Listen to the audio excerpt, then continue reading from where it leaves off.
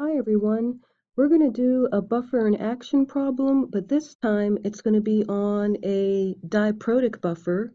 And remember, the first step in a buffer and action problem is to write a neutralization reaction.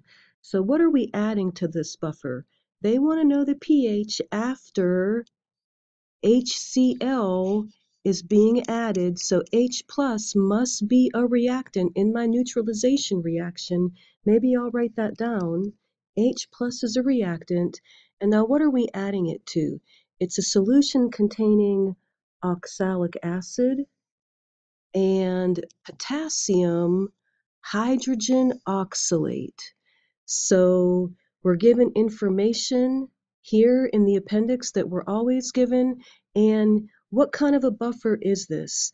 Is this a buffer containing H2A and HA minus, or is it a buffer containing HA minus and A minus 2?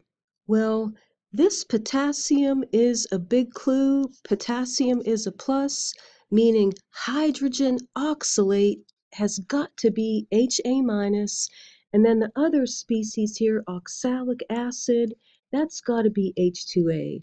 We're adding a strong acid to a buffer containing H2A and HA.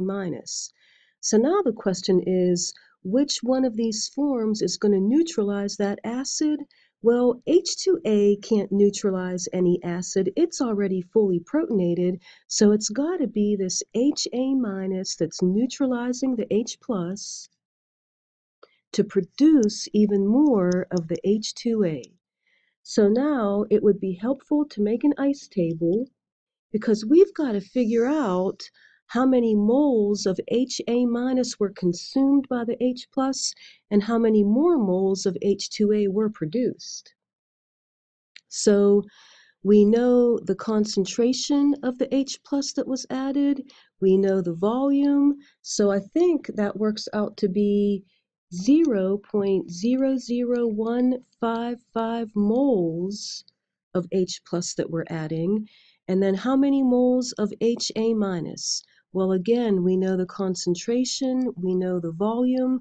I think that works out to be 0.00595 moles. And then how many moles of H2A do we have initially? Again, we know the volume and we know the concentration.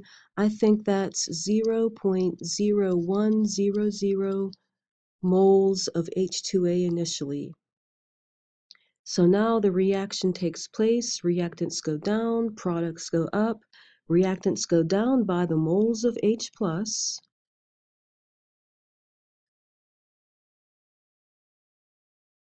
and products go up by the moles of H+. plus. So after that reaction occurs, we've consumed all of the H+. plus. We've consumed a little bit of the HA. We have 0.00440 moles of HA left, and we've made even more moles of the H2A. That's 0.0115 with an insignificant 5 moles of H2A. Now we've got something that we can plug into the Henderson-Hasselbalch. So it'll be pH equals, well, since my buffer contains H2A and HA minus, I'm going to be using pKa1. So that's 1.250 plus the log of the moles of HA minus, 0.00440 moles of HA minus over the moles of H2A, 0.115 with an insignificant 5 moles of H2A. And let's see what we get when we do the arithmetic. Oh, pretty acidic. 0.830 with an insignificant 9. That's the pH that I got. Hope you got the same pH and hope you try more problems like this. Thanks for listening and good luck.